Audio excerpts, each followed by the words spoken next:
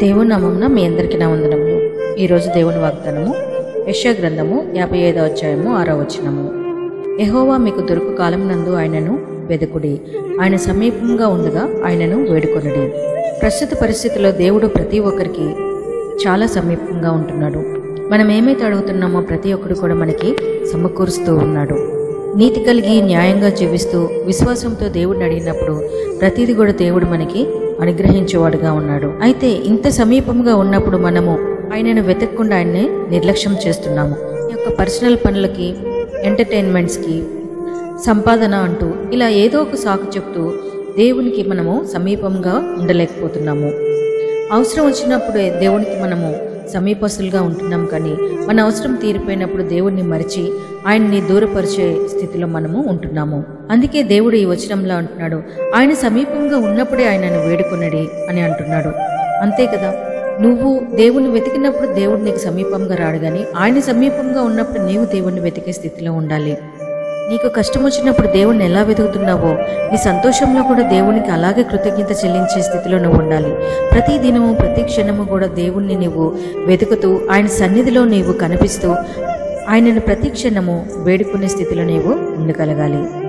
Enjoyments కోసము డబ్బు సంపాదన కోసము నువ్వు ఈరోజు పరిగెడుతున్నావేమో అదే సమయంలో దేవుణ్ణి నీవు నిర్లక్ష్యం చేస్తున్నావేమో. ఒకవేళ నీకు కష్టస్థితి వచ్చినప్పుడు ఆ సమయంలో దేవుడు నిన్ను ఒకవేళ చేయి విడిచి నీకు సమీపంగా ఉండకుండా దూరంగా ఉంటే అప్పుడు నీ పరిస్థితి ఏమిటి?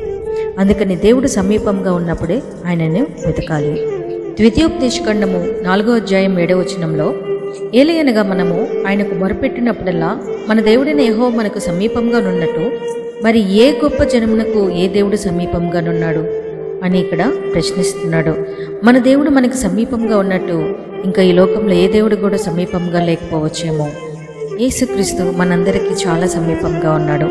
నీవు పిలువగానే పలుకుతాడు. ఒక తల్లిలా ఒక తండ్రిలా ఆదరించేవాడుగా ఉన్నాడు. నీ బంధువులు స్నేహితులు ఒకవేళ నిన్ను విడిచిపెట్టి వెళ్ళిపోవచ్చేమో కానీ యేసు నిన్ను విడవడు. మరి ఇంకెందుకు ఆలస్యం చేస్తున్నావు? ఈరోజే దేవుడి దగ్గరికి వచ్చి మనము ఆయన యొక్క కౌగిట్లో భద్రపరచుకోమని ఆయన వేడుకున్నప్పుడు ఆయన నిన్ను ఎంతగానో ప్రేమించి ఆయన గుండెలకి హత్తుకొని ఆయన నిన్ను విడవక ప్రేమించి దేవుడిగా ఉన్నాడు.